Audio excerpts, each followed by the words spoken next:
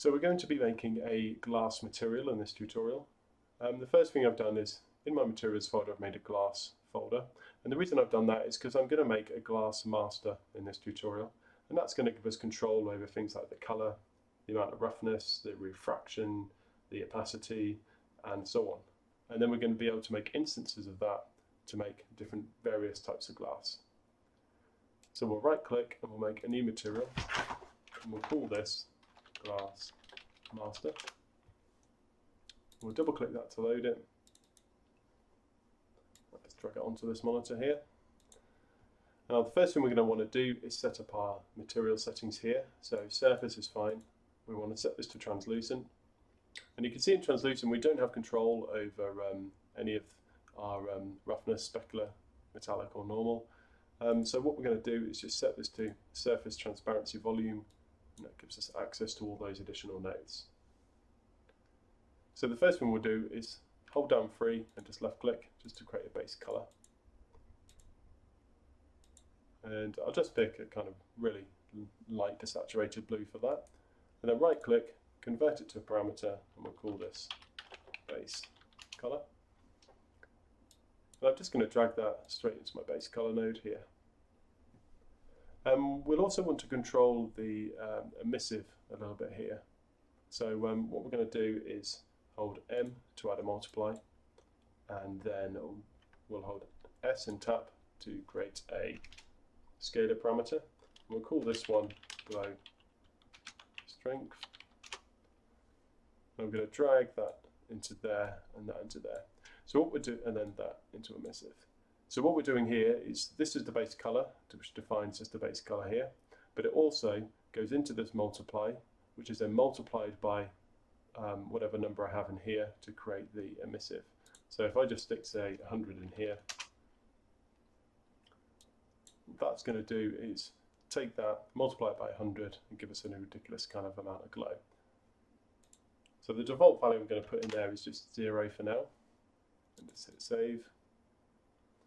Then what we're going to do is just add three scalar parameters to control the metallic, specular, and roughness. I didn't quite expect it to take this long to save, but so just call this metal, call this spec, call this rough.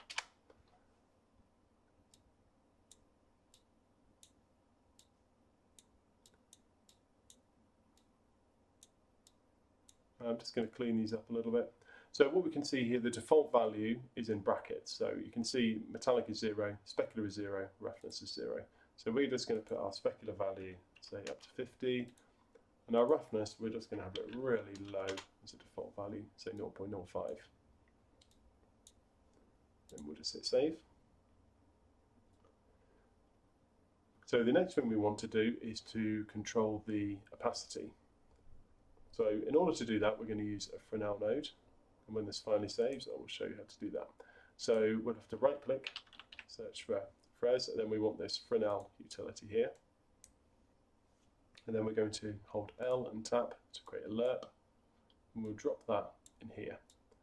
So the way the Fresnel works is um, we've dropped it into this lerp, and we're going to use A and B as scalar parameters. So we'll drop one in here, and we'll call this opass Fres, and we'll do the same again. We'll call this opass edge Fres. And we'll drop these into here, and we'll just uh, make just to make sure we've got them the right way round. We're going to set our edge to opacity one, so that'll be fully visible, and we'll leave our mid on zero and then we'll drop that into our opacity. So the way this works is the Fresnel defines um, the whatever is happening on the edges of a curved surface. So as I'm looking at the direct center here, as this curves round, what's going to happen here? So it, we could use it to say that it's going to glow more here, that the color of it is going to change. And in this particular case, we're saying if you're looking at it directly um, flat onto the normal, then it's going to be completely invisible. And as it curves around, so the normal is basically 90 degrees this way, it's going to be fully visible. So in the middle here, I'm just going to change that default value to say 0.1. And we don't want this to be fully visible on this hard edge, on the edge here either. So I'm just going to change that to say 0.8 or kind of 0.9.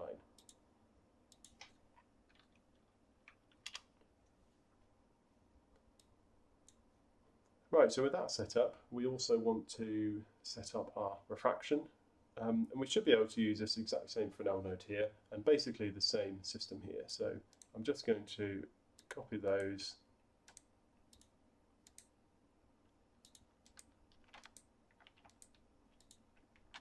paste those with Control V, and then drop that into our alpha. Now we'll need to rename these, of course. So I'm going to call this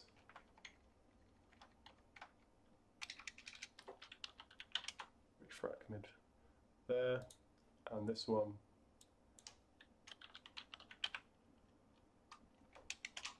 refract edge like that. And we'll just drop that into our refraction.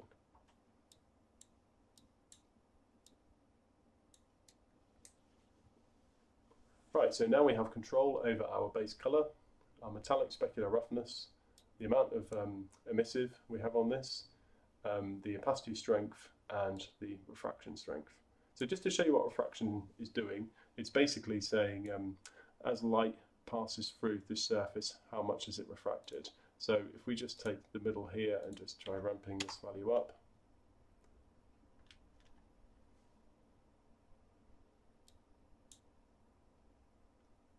Hopefully that preview will update shortly.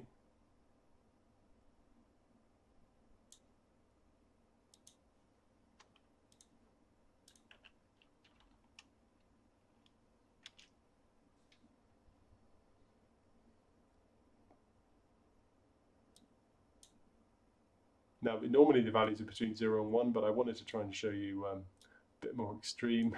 That's obviously completely broken it. But um, we'll get a lot more um, of a preview of this in the actual viewport, so we're going to do that now. So in our parameters, we're just going to say, just leave them as that so that we can play around with them in the viewport. So we'll just hit save.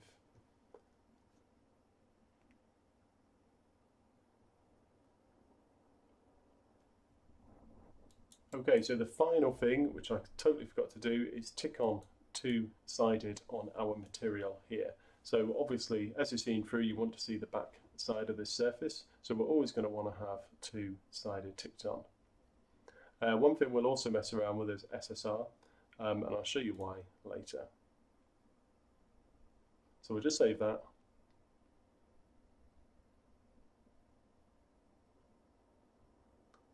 Give that a few seconds to update. Um, so with the SSR, that means that by default it doesn't have them, so it's only going to reflect what's in our reflection probes. So it's probably worth just ticking that on now. Um, it might be quite expensive though, but so it's something to tick off if you're struggling with your frame rate and just rely on our baked kind of cube maps.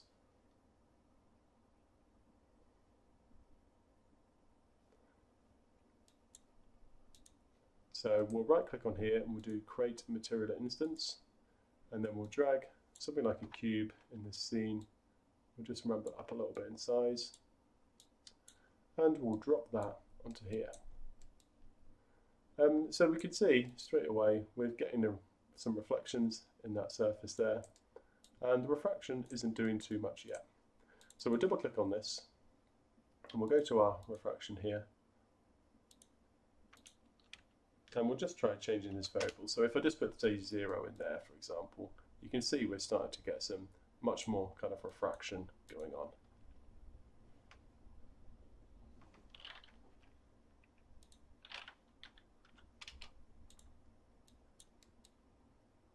Okay, so another setting to play around with, if we just see our reflection in here, hopefully you can see that on the video.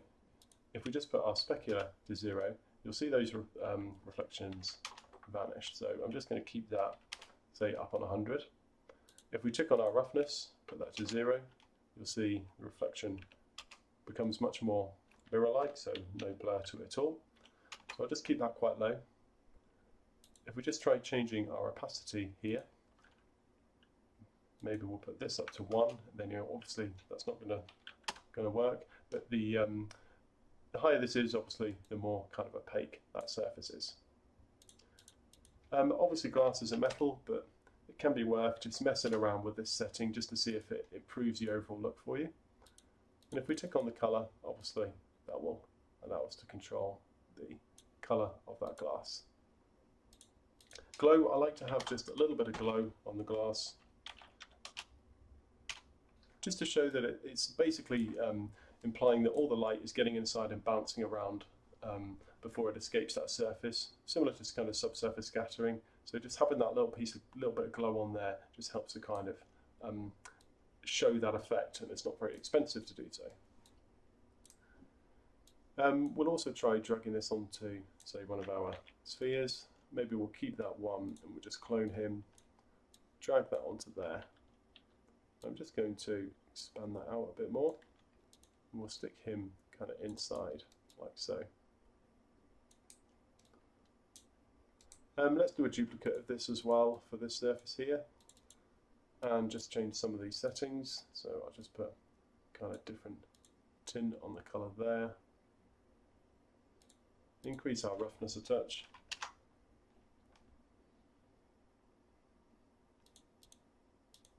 Maybe bring our opacity down here.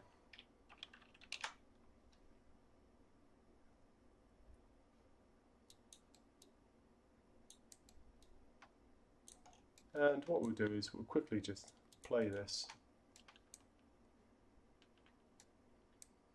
and just have a look at those kind of materials in the viewport. So you can see we're getting some nice refraction, working on our maps and stuff like that too. And we can see the object kind of inside from all angles as well.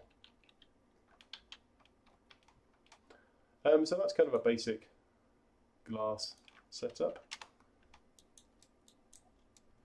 Um, obviously we can gain a lot more control um, through this because at the moment all we're doing is using kind of basic nodes. What we could do on this is also add things like a normal map and basically just by using texture samples we can get kind of different kind of blur on our reflection, create kind of frosted glass and things like that and that's what we'll cover in the next tutorial.